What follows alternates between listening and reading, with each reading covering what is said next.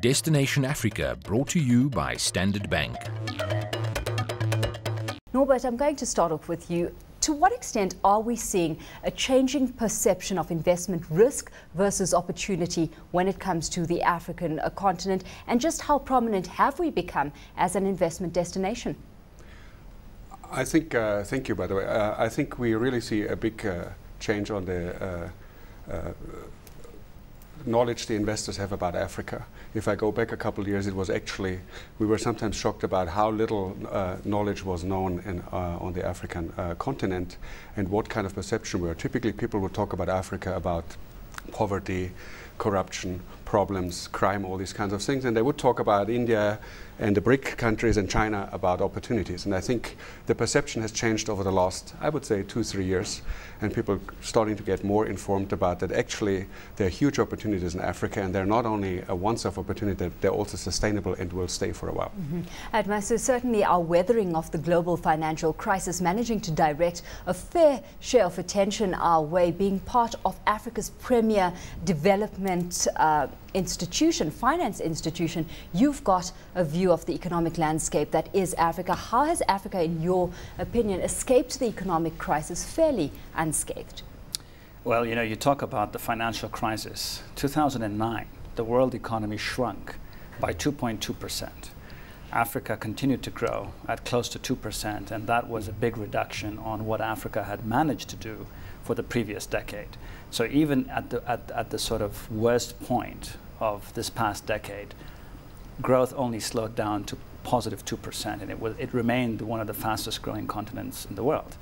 And of course, you know, when people talk about the, the new reality of Africa, perceptions may have begun to change, as Norbert has said, only over the past couple of years. But the truth is the fundamentals in Africa have been changing for at least a good 10 years. And, and what we are reaping today is in, in, in many ways a, a, a, return on that investment in reforms, in better governance at the economic level, at the, at the political level. We've seen dramatic changes taking place uh, since the turn of the century, essentially. Mm -hmm. and, uh, and, and, and that has really been borne by the economic growth rates. We, we see Africa's GDP growth rates up at close to 5 and 6% now for almost a decade since the turn of the century. And if you look at what happened in the 1990s and the 1980s, it was flat. And when you, when you count population growth, it's actually negative per capita income growth. So Africa on a per capita basis has been contracting for literally 20 years. Mm. And that began to change at the turn of the century. So real, there's real rises in standards of living taking place for 10 years in Africa now. Mm -hmm. Very deep and very fundamental. Well, of course, Aly-Khan, uh, we've also got to hand it to investors where they've learned to anticipate just as much as they take, uh, you know, cognizance of, of the opportunity and the risk as well. When it comes to anticipating things. Uh, you know, it's no more more true when it comes to anticipating developments within the political arena in South Africa. There's a perception of a shift in economic policy in Zimbabwe. We've got indigenization laws that are front of mind. In Kenya, there's rumblings within the coalition government as well, and that just a handful of the countries that are in the spotlight right now. To what extent is this still a hindrance to our progress? Well, well, I think you know we've actually embarked on a new trend. I think that trend is playing itself out at the moment in North Africa most violently. But essentially, it's it's a new era of inclusion. I think governments and rulers that rule need to engage um, their citizens in a completely different manner. And I think we're somewhat behind the North African curve. But the politics is, can be a minefield. And I think what's happened across many, uh, across many countries in Africa is that governments have been able to control the economies to a very great degree. But that, that position is no longer tenable, and we're watching these economies break out of that chokehold. Some are doing it much more quickly than others, others are taking steps back, like in the Ivory Coast. But overall, I think the trend is going one way, and I think it's an extremely positive uh, political trend. You know, political risk in Africa was difficult to measure. I think Muhammad Ibrahim was the first to even attempt to measure it. But if you look at the broad trend, I think you're looking at a much more positive trend developing. Norbert, what's your sense of investors becoming better at navigating around this? Because when it comes down to it, the investor has surely just simply got to become more discerning. I mean, we speak about geography, eluding uh, many an investor when it comes to the continent. But overall growth shouldn't mask the disparities uh, in economic performances by the various African countries. Yeah, there's still huge disparities, right? And by the way, you know, there's also huge uh, problems still despite all the opportunities. But I think uh, global investors are getting very smart on, on seeing these risks and are getting uh, quite well informed about it. And fundamentally, I, do, I don't believe that the risks in Africa are different or larger than doing business in any other of the BRIC countries, which very often was the perception that Africa has the problems and India and China and Brazil is very simple to invest.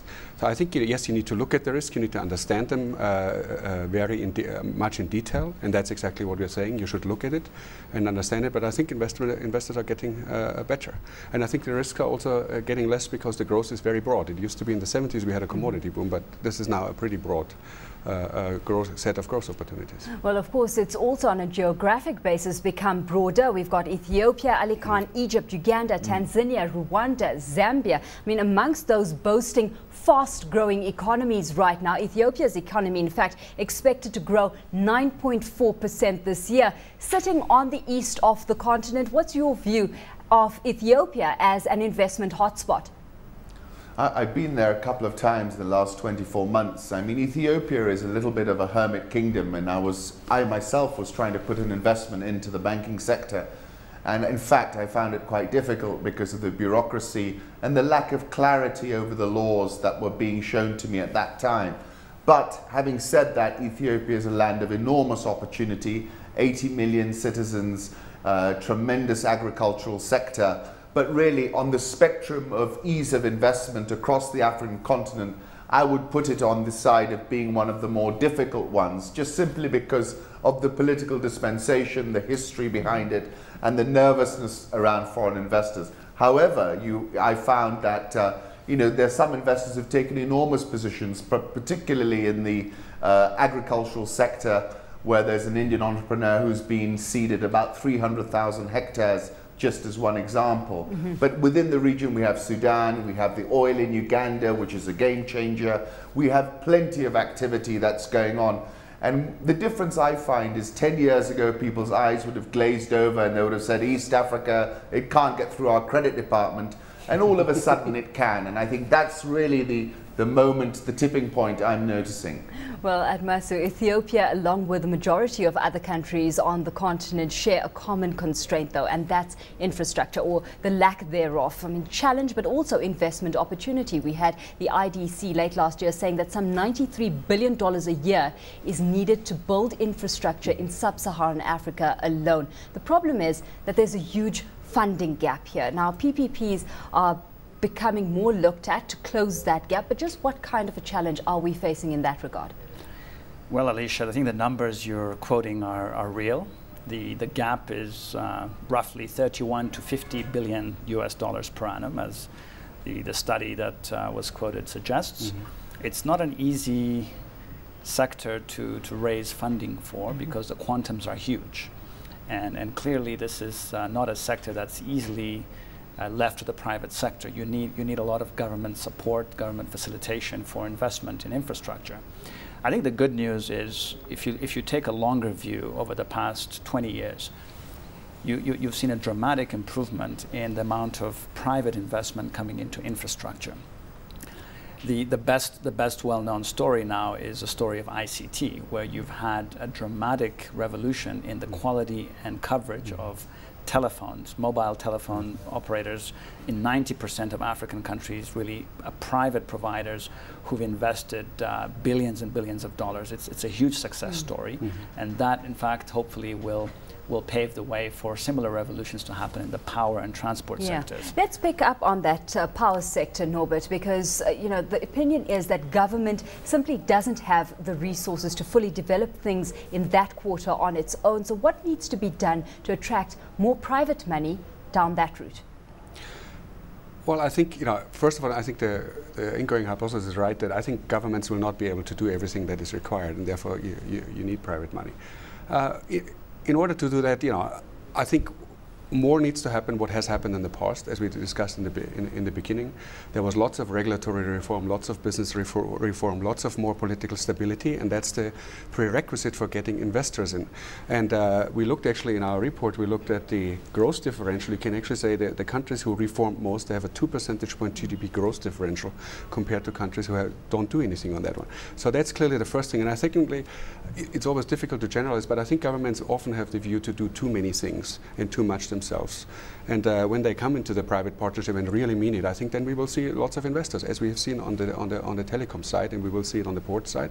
And of course, let's also face it. Uh, we all know that uh, uh the South-South South-South trade has. Uh, uh, increased dramatically, and there's a clear interest from the Eastern economies in the need for resources, in the need for food to invest. And they are coming and they will come more. Of course, we have seen uh, cement companies, you know, amongst a lot to take advantage of the opportunity. I know PPC right here in South Africa saying that it's developing a strategy to move into more exciting uh, markets in Africa. Of course, getting things going in that regard, Admassu, is going to set the foundation for every sector, even mining, where we've seen the headlines that Africa could miss the next commodity boom because of infrastructure constraints. Looking at the mining story, though, that, uh, that commodity story is evolving and becoming increasingly evident is the need to create lucrative value adding and beneficiation business sectors as well.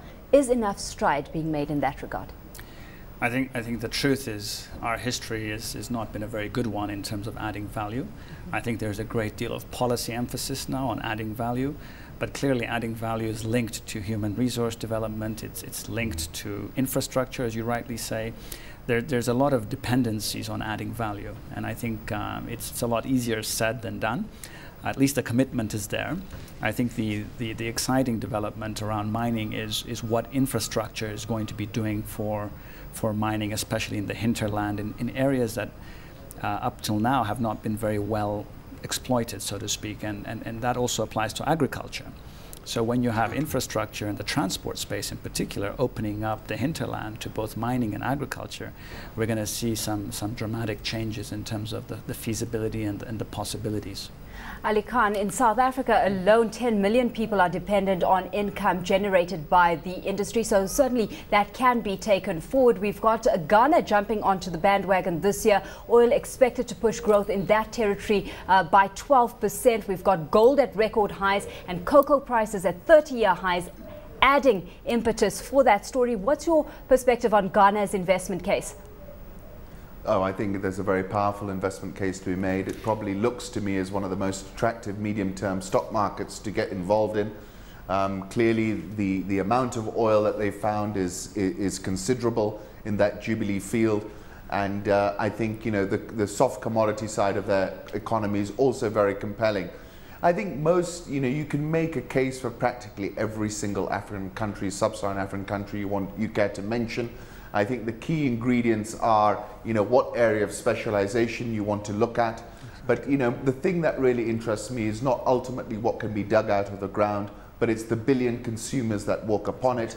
There are more middle class uh, Africans, as per the McKinsey report, than there are Indians. And I think the things like the mobile phones were leveraging that intellectual and human capital. Those are the businesses where I think we're going to see innovative and high uh, uh, high growth, and that's where I, for one, am more focused on within these countries. Well, of course, as Aly-Khan has highlighted, of course, the commodity story on the continent is a well-known one. It's been told time and time again, with economic growth prospects brighter, though, a growing population, a population that's fast urbanizing and slowly getting richer. We take a look at other sectors that are boasting strong investment merit too. That's coming up straight after the break, so stay with us.